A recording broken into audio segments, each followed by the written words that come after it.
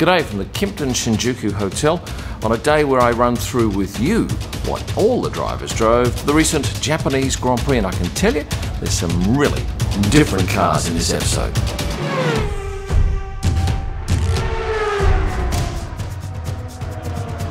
In this Drivers Drove episode, you're going to see cars that you have never seen driven to a track outside of Japan. And I'm going to kick it off with Lando Norris, who drove this Toyota Sienta Hybrid.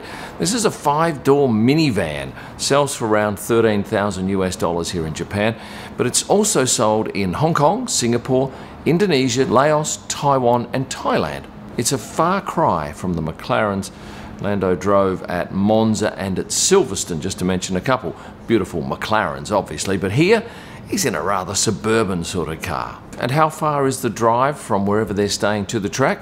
Well, I'll get to that a little later on in the video, but it's not a terribly long drive. And what about his teammate Daniel Ricciardo? Well, he was driving the exact same model car, the Toyota Sienta Hybrid.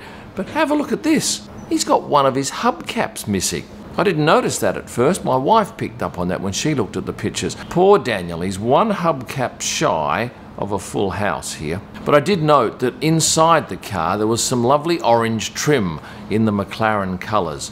I'm guessing that's pure fluke, not by design. And just quickly, if you're looking for a VPN, a virtual private network provider, have a look at Surfshark.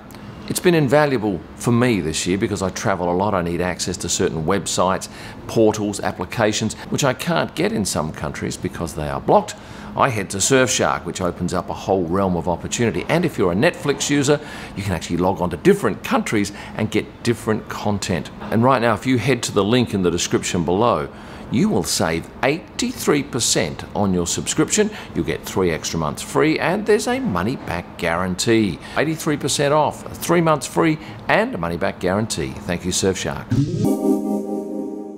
I should mention that there are two car parks at the Suzuka track. One is near the far end gate, and the other one is quite close to the main middle swipe gates of that paddock. And with three of the teams having their hospitality suites at the very top of the paddock, they would use that far end swipe gate. But most of the drivers parked in the main car park. And unfortunately for us, there was no signage above each of the parking spots. So there was a bit of investigative work required to work out who was driving what. But my investigation showed that Valtteri Bottas was driving his familiar Giulia. This is the Quadrifoglio version, which is a souped up model of the Giulia, which is an Alfa Romeo and his teammate Zhou Guanyu was in a Stelvio Quadrifoglio. They've been pretty consistent with those cars this year. Let's move on to the Haas drivers now. Kevin Magnussen was in a Toyota Noah now, if you've not been to Japan or some of these Asian countries that this car is sold in, you'd have no idea. It's a minivan, retails for around about 20,000 US dollars. It's functional, obviously inexpensive, and it got Kevin to and from the track along with his crew over the Japanese GP weekend. Oh, and I should mention too that for Kevin Magnussen fans, I have a new side print collaboration with Kevin coming up very shortly.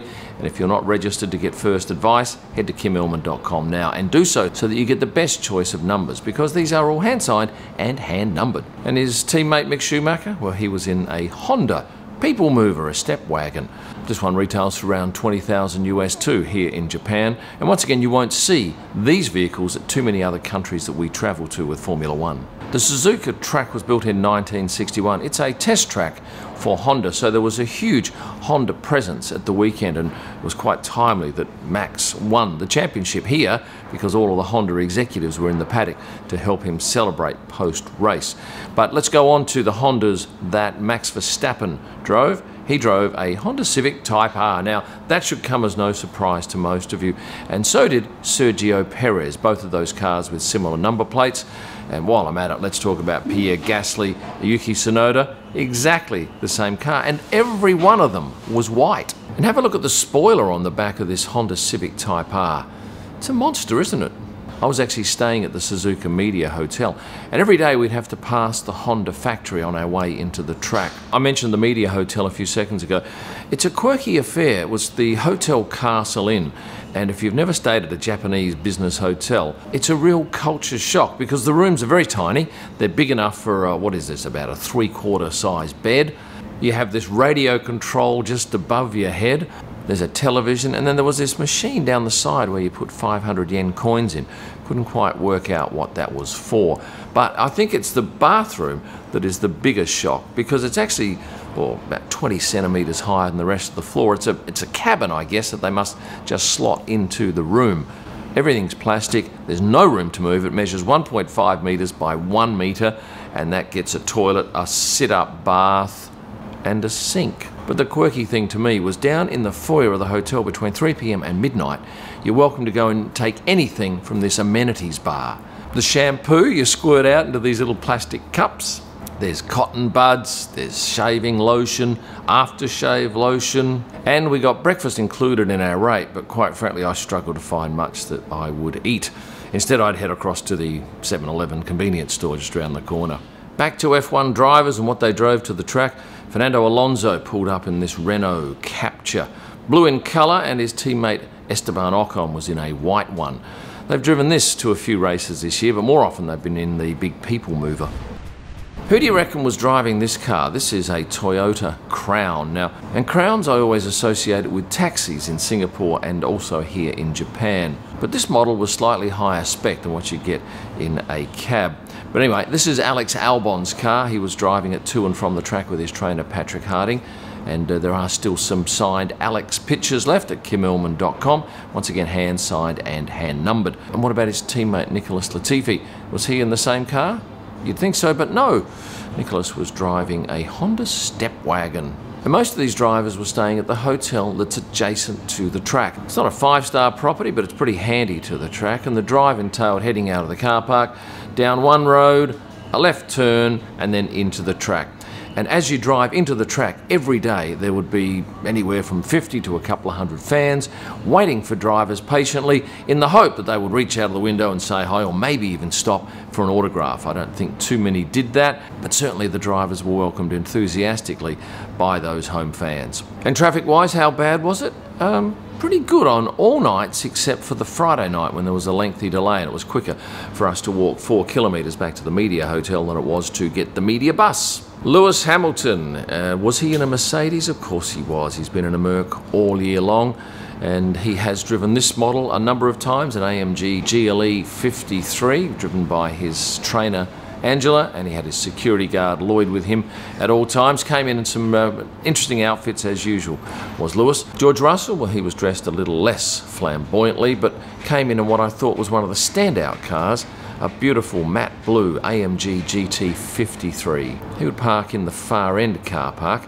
and on a couple of occasions just happened to time his arrival perfectly with that of Charles Leclerc, two popular drivers having a chat as they entered the track. As gorgeous as the Mercedes vehicles are, I think they're topped by the Ferraris, and as usual, we had Charles Leclerc in a beautiful Ferrari Roma. He drove the white one, and Carlos Sainz, well, he was driving a black Roma. And on this particular morning, I noticed that he'd walked towards the swipe gates, and suddenly his car, which had his trainer Rupert Manwaring in it, was beeping away as if uh, somebody had set the alarm off. Then he returned to the car because I gather the keys for the car were still in his pocket given he'd driven it in. So he swapped the keys back to Rupert. Oh, and also I should mention that a lot of the drivers were very patient with the fans who had gathered outside the swipe gates. On the first couple of days, they were all random and roaming everywhere, the, the punters I'm talking about. But on Saturday and Sunday, they were corralled behind a fence. But a lot of the drivers went over to them and signed autographs, given that they wait a very long time for these drivers. And our final two drivers uh, are the boys from Aston Martin, Lance Stroll I gotta say it, every single race, except a couple where they've walked, he was in a DBX. Beautiful colour this. I'm thinking it's maybe solar bronze. And will you Aston Martin fans confirm this is a 707 model, which is the souped up version of the DBX? Comments below, please. And his teammate, Sebastian Vettel, in the most gorgeous Aston Martin DB11. What a colour this is. Uh, Seb parked in the lower car park and tended to walk the length of the whole straight. And if you watched my video earlier in the week, you would have seen that he came in on one day wearing one of these bandanas. But a lot of the Japanese fans pointed out he's got it on upside down. He did sort that out later in the day and turned it the right way up. If you're trying to book a flight on US carrier American Airlines, but you're doing it with an Australian credit card, you get almost to the end of your booking and it says no, you have to go to the Australian site. And when you do it, you're slugged a whole lot more for that same flight. And I gather that's the same with many other countries. But here's what you do go to a third party site, something like Expedia. I've used it a couple of times. And not only can you book it using your Australian credit card, it was even about $12 cheaper. American Airlines, you're screwing us. Next up, we're off to Austin and hopefully we see some amazing cars there at the upper end of the bracket. What we've seen here is interesting with the lower end stuff being the uh, Sienta, the Noah, the Captur, Stepwagon, Toyota Crown, but I do hope we see some top end stuff at the next race. Thank you people for sticking around to the end. If you've enjoyed the video, one simple favour, could you please click the like button? And once again, I noticed a lot of you aren't subscribed, so here's your invitation. Please hit the subscribe button. And members, you know what you get a whole lot of extras free of charge and the opportunity coming up shortly to win some more signed prints.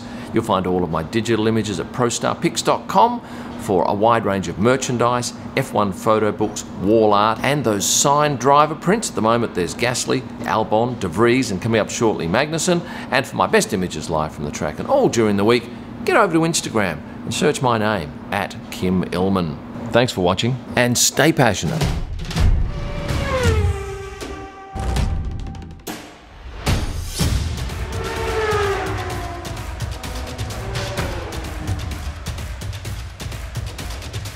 And, and you do get, and we, and we did get.